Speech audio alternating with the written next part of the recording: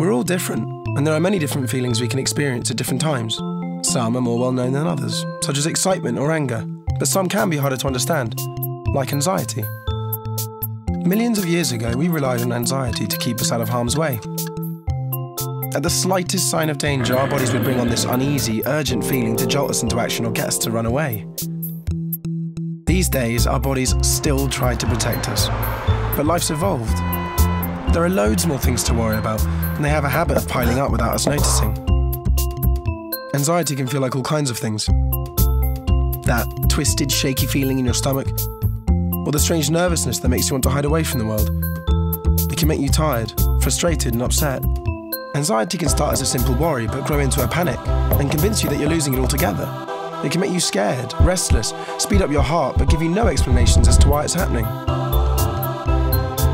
It might not feel like it, but anxiety is completely natural and can affect anybody for all kinds of reasons, like exam stress, family troubles, new places, or a mixture of things.